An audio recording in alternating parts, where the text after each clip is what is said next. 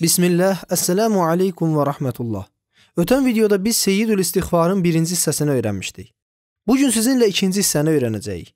Birinci hissədə Allahumma ente rabbi, la ilahe illa ente cümləsini öyrəndik. İndi isə bunları öyrənəcəyik. Xalaqtani və ana abduka. İlk ifadə xalaqtanidir. Xalaqtani sən məni yaratdın deməkdir. Xalaqta sən yaratdın, ni məni. Beləcə xalaqtani sən məni yaratdın deməkdir.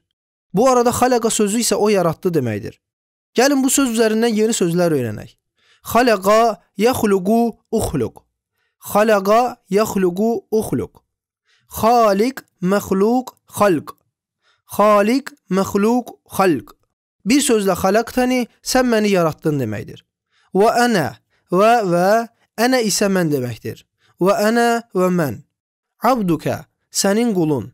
Və ana abduka və mən sənin qulunam. Bu cümlənin mənası belədir. Ey Allahım, sən məni yaratdın. Sən mənə mükəmməl bir bədən, gözlər, qulaqlar, burun, ağız, surət, düşünən beyin, ürək, ciyərlər, əllər, ayaqlar vermisən.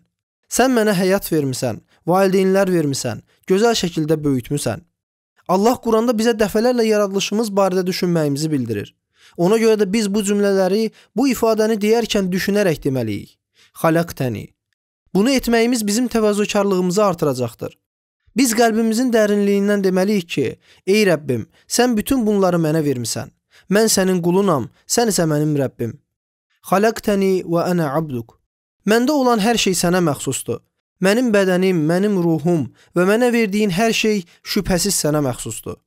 Həqiqi qul öz həyatını daim Allahın istəyinə uyğun yaşayandır. Ey Rəbbimiz, bizi sənin həqiqi qullarından et.